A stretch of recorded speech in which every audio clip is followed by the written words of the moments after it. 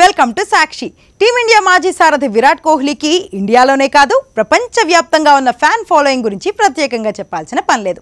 అయితే మన దాయాది దేశం పాకిస్తాన్లో అది మనకు సంబంధం లేని మ్యాచ్లో కూడా కరాచీ వేదికగా పాకిస్తాన్ ఆస్ట్రేలియాల మధ్య రెండో టెస్ట్ స్టేడియంలో ఓ అభిమాని లేచి ఓ ప్లకార్డ్ పట్టుకున్నాడు.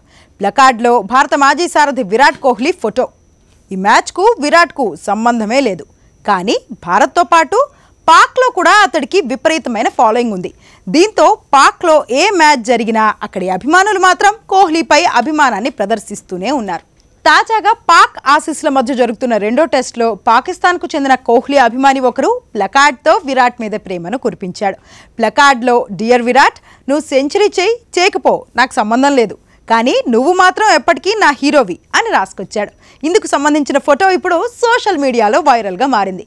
భారత్లో జరిగిన మ్యాచ్లు ఆసియా కప్ ఐసీసీ టోర్నీలు మినహా ఇంతవరకు కోహ్లీ పాక్లో ఒక్క మ్యాచ్ కూడా ఆడలేదు. అయినా కోహ్లీకి అక్కడ ఫాలోయింగ్ చూస్తే అతడి క్రేజ్ ఏ విధంగా ఉందో అర్థం చేసుకోవచ్చు. పాక్లో అభిమానులు కోహ్లీ మీద ఇలా అభిమానం చూపెట్టడం ఇదేం కొత్త కాదు.